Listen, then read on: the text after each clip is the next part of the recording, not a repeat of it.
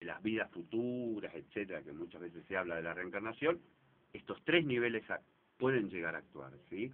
Por eso es tan importante no solamente cambiar en la acción, que es lo más fuerte, digamos, en, en, la cotidianeidad, sino también en las palabras y en los pensamientos que son los que motivan, este, sobre todo el pensamiento, la acción del espíritu, la acción de la conciencia es fundamental, digamos, en nuestra vida porque lo que hacemos y lo que decimos está vinculado a esta acción de esta conciencia que piensa determinada realidad. Me quedé pensando en esto que hablabas de, del Buda eh, en su, con sus interlocutores y los interlocutores que decían, bueno, eh, en esta lectura decir lo que la sé ahora, ¿no? Fíjate en qué estás haciendo aquí ahora.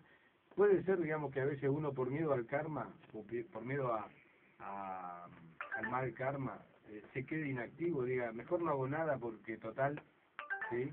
Este, tengo que transitar esta vida nada No hago nada. Dejo pasar la vida. A un costado por miedo a esa, a esa consecuencia de accionar en la vida. Y esa, ese no accionar en la vida, ¿qué consecuencias trae? Es, es imposible no actuar. siempre hay una acción, siempre hay un movimiento y... Una omisión es una forma de participar en la vida.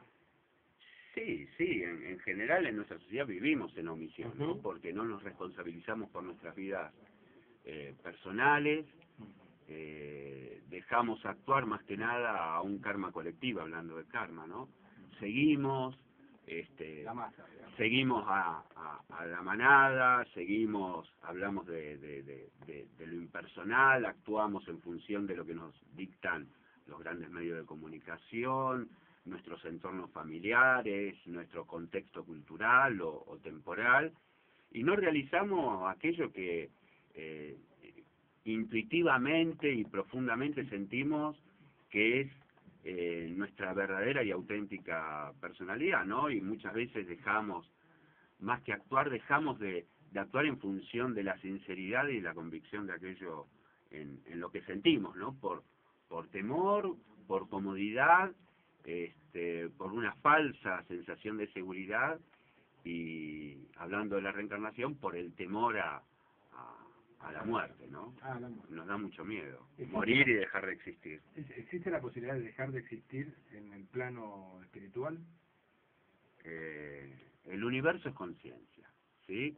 Aquí ahora eh, lo que podemos decir es que este aquí ahora es absoluto, que desde antes de la creación del punto cero del Big Bang, hasta este momento no ha pasado prácticamente eh, ni, nada de tiempo, estamos todavía en un proceso de expansión de la conciencia universal, ¿sí? Esto, bueno, habría que estudiar un poco de, física cuántica, etcétera, etcétera, Está, hay un montón de información, hay un montón de películas e información en la web al respecto, pero desde ese punto de vista el, el tiempo no, no existe y el espacio no existe y vivimos en, en un eterno absoluto, con lo cual la conciencia eh, originalmente es creadora de este universo en expansión y junto con él se está expandiendo.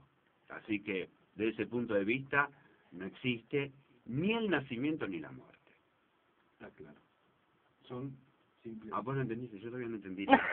no, no, está claro lo que vos decís, no sé si... Yo no, está claro lo que decís, a mí me queda claro, digamos, por lo menos esa, esa mirada sobre la cuestión. Una pregunta, quizá de perogrullo. Eh, eh, si uno reencarna, ¿en qué reencarna? O sea, ¿puede reencarnar en un perro, en un gato? Acá tenés la prueba. Hay una historia muy muy linda que cuentan en el Había un gran maestro eh, chino, se llamaba Yakuyo, y fue el creador de las reglas monásticas en la Edad Media en, en la China. Y cuenta la historia que eh, frente al maestro Yakuyo un día se presentó un, un zorro, se cruzaba cada vez que hacía una ceremonia en, en su templo. Y se cruzaba una vez, dos veces, tres veces. Y a él le llamaba la atención que cada vez que salían de, de la práctica del sasen y, hacían la, y terminaban la ceremonia se cruzaba este, este, este zorro. Finalmente, lo, un día que lo encuentra solo caminando el maestro Yacuyo, el zorro